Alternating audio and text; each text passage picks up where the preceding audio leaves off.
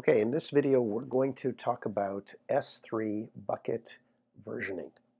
Excuse me. And we're going to just show a quick demo of how versioning works in S3.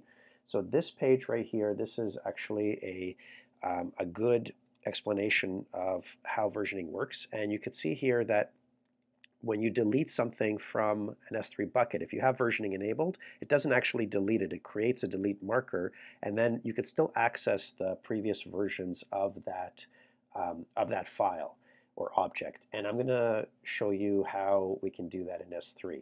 Okay, so what we'll do is we have a public website right now in S3, and I already made a video about that, and I'll link it um, what we'll do is we'll enable versioning on that, um, on that bucket.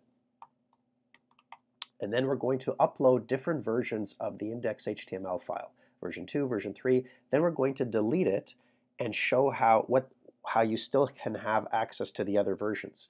And then we'll uh, upload another version of version 4. We'll delete that. We'll delete the delete marker. And I'll just show you how you can work with the different versions of the file so you can still access them even after you delete them. So if we go into our S3 console here, we have this bucket right here, test website static Misha. As you can see, it's public. And I'm going to go in Go into the properties. We've enabled it for static website hosting and all the other permissions, including the uh, bucket policy that I covered in another video. And here's the endpoint. So if we look at that endpoint, there's the website right here. Okay, so it's working. We know it's good. So what we're going to do now is we're going to create a second, actually we're going to enable versioning on the bucket first. So we'll go back here, go into the properties. As you can see right here, there's versioning and we'll enable versioning right here. We'll do that. We'll save it. So now this is enabled. It's a static website hosting that's enabled.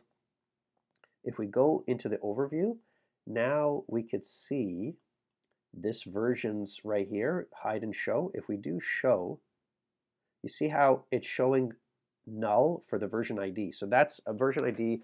So AWS creates a unique version uh, ID for every version of your file. But because we didn't start these um, files with versioning. We didn't start the bucket with versioning.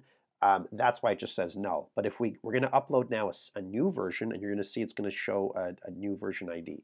So what we'll do is we'll go into our index.html file, and we're just going to change it to say v2, just like that. So then we could tell it's the new version. And then we'll go to the bucket, and we'll say upload, add files, and we'll say index.html, and we'll just say upload.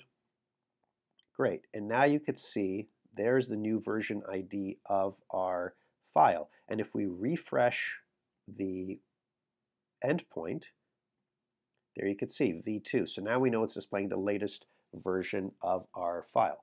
What I'll do is I'll, I'll, I'll show you again. I'm going to make another version. We'll call it v3 just like that. And then I'll go back to my bucket. I'll upload another index.html. And now you're going to see, okay, see it made another version ID. So now we have the original version 2, version 3. And if I go back to my site and I refresh it, now it's showing v3. So we know it's displaying the right version. Okay, so what I'll do now is I will delete the file from my bucket. So what I'm going to do is I'm going to hide the versions and if I just select the index and I say delete, it will delete the bucket just like that. So it looks like it's not there. But if I actually enable the versioning like this to show, so I could see the three versions are still there. It put this delete marker in place to kind of say the file is deleted. And if I try to access the site, I get a 404. So as far as the public is concerned, that site is not accessible anymore. But it's still in S3. Okay, so what I'll do now is I'll actually create another version of this file. We'll call it version 4. So like this, say like that, version 4. And I'll go back to my uh, bucket and I'm going to upload that index.html. We'll say that. And now you can see right here, so after the delete marker, there's a latest version, that's version 4. So if I refresh my endpoint, there it is, version 4. Great. So now we have different versions of our file. We actually have delete markers. Now I want to show you that you can actually delete specific versions of your file. So for instance, if I go in here, I can delete that version of my file and now it will be permanently deleted. So I can say actions delete and it's going to be that version that's deleted. If I say that, see it's back to the delete marker and if I refresh the page here I'm going to get a 404. So now it's back to the 404.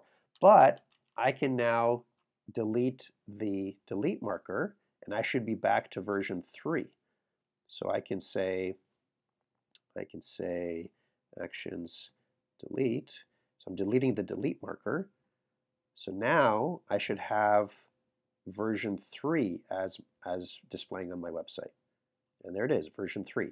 So what I could even do is I could delete version 3 and version 2 together, just like that.